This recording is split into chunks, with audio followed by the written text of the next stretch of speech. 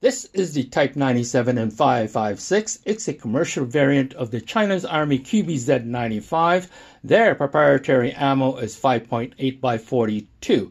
It was designed in the late 80s and the PLA is slowly phasing them out. It's a rather awkward gun to use because it's a bullpup, which means the magazine is behind the grip. It's a striker fire and um, the selector is way back over here by the butt plate. The mag catch is this tiny little button on the right side.